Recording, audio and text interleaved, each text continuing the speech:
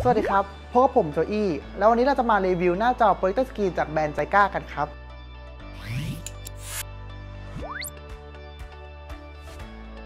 โดยหน้าจอโปรเจคเตอร์สกรีนจากแบรนด์ใจก้ามีทั้งหมด 4 ประเภท ได้แก่หน้าจอแบบมอเตอร์ หน้าจอแบบ manual ก็คือมือดึง หน้าจอแบบ pop up และหน้าจอแบบขาตั้งครับ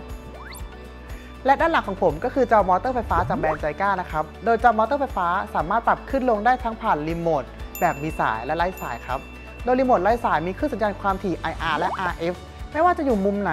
คลื่นสัญญาณความถี่ก็รับสัญญาณได้ 360 องศาครับ และแบบมีสายก็สามารถยึดติดกับผนังเพื่อปรับขึ้นลงได้นะครับผม ครับ โดยจอรับภาพมอเตอร์ไฟฟ้าเนี่ยสามารถควบคุมการขึ้นลงได้ทุกตำแหน่งและหยุดอัตโนมัติ เมื่อเลื่อนขึ้นเลื่อนลงสุด โดยมอเตอร์ไฟฟ้าเสียงเงียบ ราบลื่น ขึ้นลงแบบไม่สะดุดครับ และเจ้าตัวนี้ก็ยังใช้ไฟฟ้า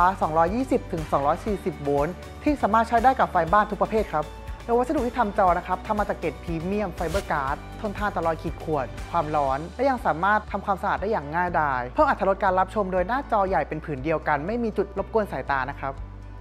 และในรูปแบบถัดมาก็คือจอ Manual Skin หรือจอมือดึงนะครับผม โดยหน้าตาของจอ Manual Skin นั้นคล้ายคลึงกับหน้าจอ Motor Screen ทุกรูปแบบนะครับ โดยการติดตั้งจอ Manual Skin นะครับติดตั้งง่ายไม่ว่าจะเป็นติดตั้งกับเพดาน หรือเจาะกับผนังก็ได้นะครับผม เดี๋ยวผมจะพามาดูตัวถัดไปกันนะครับ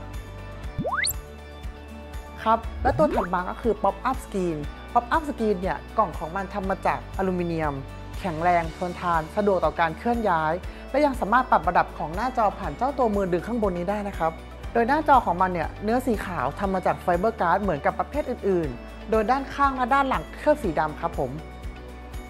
และอย่างที่ผมกล่าวไปข้างต้นนะครับ ว่าเจ้าตัวนี้พกพาสะดวกเป็นข้อดีของ Pop Up Screen เลยนะครับ เพราะมันสามารถใช้งานได้ เก็บง่าย พกไปในพื้นที่ที่ต้องการใช้งานได้ทุกพื้นที่ครับ และยังมาพร้อมกับขาตั้งคู่ที่กันล้มได้ด้วยนะครับ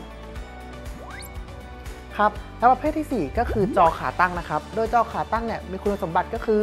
กล่องจอทำมาจากเหล็ก มีขาตั้ง 3 ขา เนื้อจอติดกับแกนอลูมิเนียม โครงสร้างแข็งแรงทนทานเหมาะสำหรับการใช้งานอย่างหนักนะครับ มีระบบล็อกจอตะขอเกี่ยว สามารถต่อระดับความสูงตามการใช้งาน ใช้งานง่าย และยังมีระบบ Keystone ที่ชดเชยภาพไม่ให้เกิดภาพสี่เหลี่ยมคางหมูนะครับเดี๋ยวผมจะลองฉายภาพจากโปรเจคเตอร์เข้าสู่หน้าจอสกรีนให้ดูนะครับ โดยหน้าจอสกรีนทั้ง 4 ประเภทเนี่ยเนื้อจอสีขาวทำมาจาก fiberglass เหมือนกันหมด เพราะฉะนั้นในการรับแสงจากโปรเจคเตอร์เนี่ยจะกระจายแสงได้อย่างสม่ำเสมอเหมือนกันครับ ในขณะนี้เราอยู่ในห้องที่ใช้แสงไฟปกติ และฉายภาพจากโปรเจคเตอร์เข้าสู่หน้าจอสกรีนนะครับจะเห็นได้ว่าหน้าจอสกรีนเนี่ยรับภาพและกระจายเสียงได้อย่างสม่ำเสมอนะครับ ไม่มีจุดใดเข้มหรือจางไปกว่ากัน เดี๋ยวเราจะมาลองทดสอบปิดไฟในห้องแล้วมาดูการรับภาพของจอสกรีนนะครับว่ายังจะกระจายแสงได้สม่ำเสมอเหมือนกันไหม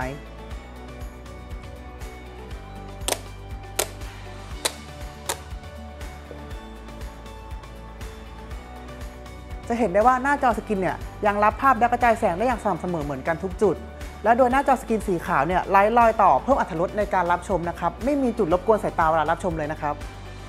และนี่คือหน้าจอโปรเจคเตอร์สกรีนจากแบรนด์ใจก้านะครับ เป็นยังไงกันบ้างครับสำหรับที่ได้รับชมไปทั้ง 4 รูปแบบหน้าจอสกรีน ที่มีให้เลือกตั้งแต่ขนาด 60 นิ้วจนถึง 200 นิ้วของแบรนด์ใจก้า สามารถเลือกใช้งานได้ตามความเหมาะสมของสถานที่ได้เลยนะครับ หรือใครกำลังมองหาจอดีๆ ทนทาน ใช้งานง่าย สามารถติดต่อจากแบรนด์ใจก้าได้เลยนะครับ และวันนี้ผมจะอี้ต้องขอขอบคุณครับ